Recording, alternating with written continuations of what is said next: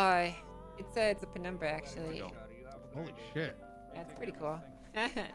Hey, uh, real quick. what the hell?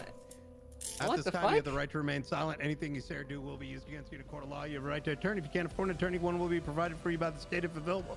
Okay. You understand your rights as I've read them to you today? Uh, yeah, I do. We sir. What?